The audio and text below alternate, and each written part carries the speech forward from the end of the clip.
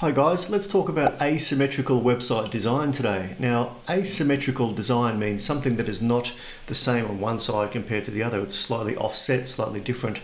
And you can achieve this with um, basically diagonal shapes, wavy shapes, or custom shapes throughout your website layout. You can see a diagonal going across this portfolio post here, and then it, contrasts into white, and then it contrasts into another grey diagonal with a video element in front of it and if we look at another example here, uh, this is another website we manage, you can see the diagonal cutting across the header elements here.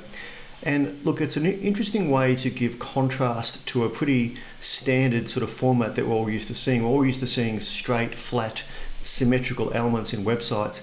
But I encourage you guys to explore uh, asymmetrical design and see if it's something that will uh, excite your website and perhaps give it a fresh new look.